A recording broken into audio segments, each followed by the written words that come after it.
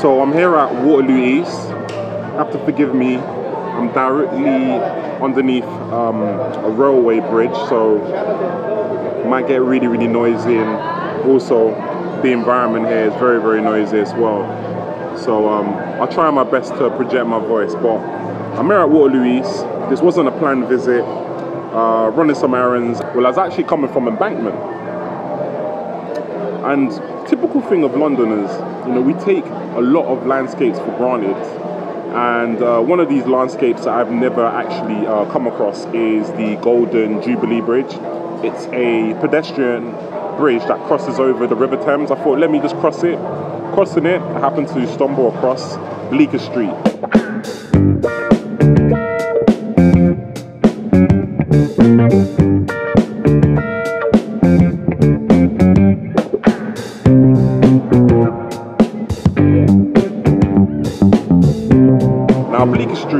Is by far my favorite burger space, and it's funny because I've only been there twice, and uh, with all good reason. They're very, very expensive. I've gotten the bacon double cheeseburger, and that comes at 10.50. That doesn't come with fries, and even the burger itself, it isn't that big, as you can see here. But the reason why I'm such a sucker for Bleecker Street burgers is that they're so unique. Never have I had a beef patty in a burger that has that mature taste. See, they, they dry age their, their patties for days on end and it gives it that nice, uh, bold, mature flavor that you don't get from other burger spots. Bon appetit. I did ask a lady to make it a little bit more well done because I noticed that Bleecker burgers they usually cook their burgers medium, but for me, it's a little bit more on the bloody side, and I do prefer it to not be like that.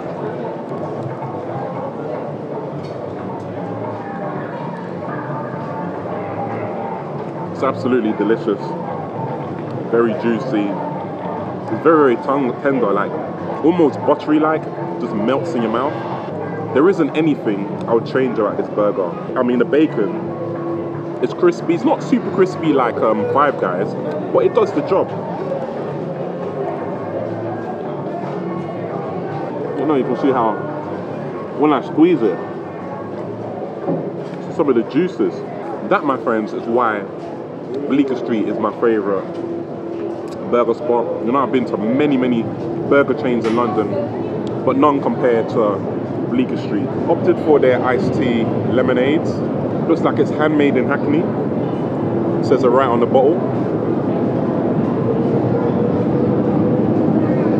Oh, that is good. That is some good iced tea. I like the fact that it's very, very, very lightly sparkling.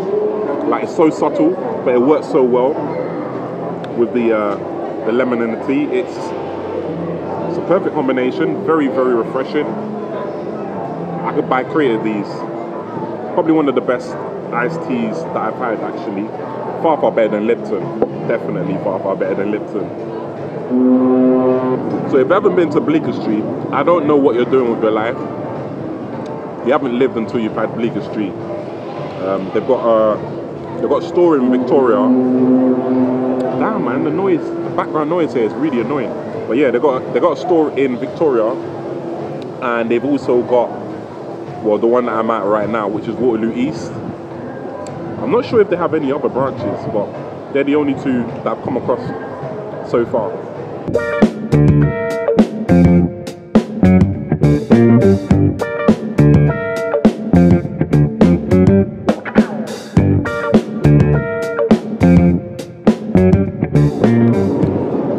So I just finished up from Bleecker Street, enjoyed my burger, it was absolutely delicious part me wants to go there for another one. But anyway, on the go, and um, I decided to go and try one of their shakes because the staff there was saying that their favorite item on the menu is actually their milkshake because it's so rich. So I've ordered the Oreos milkshake. I have to admit, I'm not a massive fan of chocolate-based milkshakes. However, I do find Oreos to be pretty decent because of that, you know, that biscuit profile. You know, you got the chocolate pieces and the biscuits. So I'm gonna try this now and give it a verdict.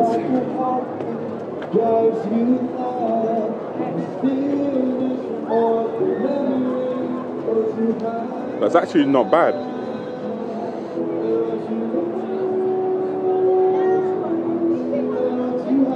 No, I'm underselling it. It's actually really good. It is quite rich. It's not too sweet as well. So, um, you know, if you're one of those people who don't like things that are too sweet, you can still opt for this. At the same time, if you've got a really sweet tooth, this will still do the job. It's very creamy.